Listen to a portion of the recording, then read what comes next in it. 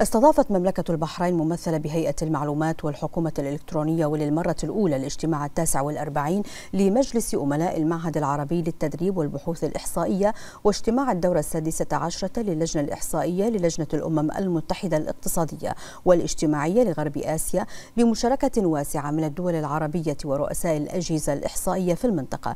يهدف الاجتماعان إلى تعزيز وتبادل الخبرات ومشاركة أفضل الممارسات في مجال الإحصاء بما يحقق الأهداف الاقتصادية والاجتماعية المرجوة. الدورة لتعزيز التكامل الإقليمي وجودة العمل الإحصائي في المنطقة احتضنت مملكة البحرين للمرة الأولى الاجتماع التاسع والأربعين لمجلس أمناء المعهد العربي للتدريب والبحوث الإحصائية واجتماع الدورة السادسة عشرة للجنة الإحصائية للجنة الأمم المتحدة الاقتصادية والاجتماعية لغرب آسيا الإسكوا بمشاركة واسعة من الدول العربية ورؤساء الأجهزة الإحصائية في المنطقة.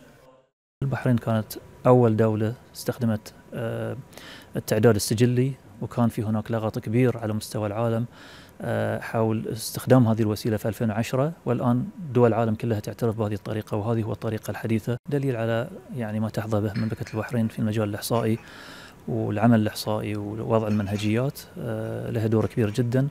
وهذه طبعا يعود لدعم القيادة الرشيدة. إحنا الآن متجهين إلى كم وتدفق ضخم جدا من المعلومات فنحتاج نطور من أعمالنا. أيضا في وقت الأزمات عندنا دول عندها أزمات كيف ممكن العمل الإحصائي يستمر؟ طبعا اليوم نجد جميع المكاتب الإحصائية العربية تجتمع في هذا الاجتماع لنقاش عناصر مهمة منها بناء القدرات الإحصائية في العالم العربي وما تنمية القدرات الإحصائية من خلال التدريب وأيضا بناء القدرات من خلال استخدام أفضل الممارسات الدولية وأفضل الأدوات المتاحة وأيضا دعم الابتكار في استخدام الأدوات الإحصائية في العالم العربي. بالحقيقة هذا الاجتماع مهم جدا للتنسيق فيما بين الدول العربية في عدد من المواضيع وبالحقيقة هو سوف خلال هذا الاجتماع سوف نستعرض عدد من الأنشطة التي تمت بالتنسيق مع بقية المنظمات الدولية والإقليمية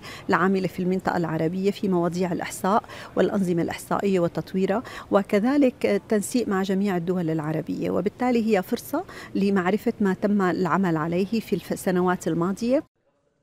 وتعكس هذه الاجتماعات التزام مملكة البحرين بدعم العمل الإحصائي ليمثل فرصة بارزة لتبادل المعارف والخبرات بين الدول المشاركة مما يسهم في تعزيز القدرات الإحصائية التي من شأنها أن تلعب دورا محوريا في توجيه السياسات التنموية وتطوير عمليات التخطيط الاستراتيجي. وجود تمثيل قوي ما شاء الله من رؤساء الأجهزة الإحصائية العربية. يعطينا فرصة اليوم نناقش ونطرح أبرز التحديات اللي تواجه العمل الإحصائي ونتشارك التجارب والطموح في تطوير الأعمال الإحصائية بما يتواكب مع التطورات في التكنولوجيا واستشراف المستقبل. هذا الاجتماع يعني يندرج في إطار أنشطة المعهد العربي للتدريب والبحوث الإحصائية اللي هي مؤسسة عربية تشتغل مع مختلف الدول العربية في مجال دعم القدرات يعني في المجال الإحصائي والمجالات القريبة منها على غرار يعني التقنيات الجديدة على غرار المسائل الاقتصادية والاجتماعية إلى غير ذلك. إذا هذا الاجتماع يدخل في هذا الإطار ونهدف من خلال ذلك إلى إحداد برنامج تدريبي لمختلف الأجهزة الإحصائية العربية والنظم الإحصائية العربية بشكل عام شواهد حية وتجارب متعددة مميزة استعرضتها مملكة البحرين خلال الاجتماعات في مجال الإحصاء ونقلتها لدول المنطقة نتيجة لتبنيها لعدد من المبادرات الإحصائية التي كان لها الدور الفاعل لرسم السياسات والاستراتيجيات الوطنية الناجعة.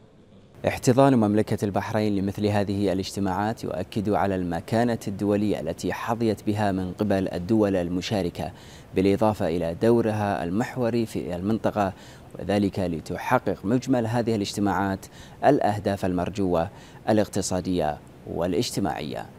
طلال نايف لمركز الأخبار تلفزيون البحرين.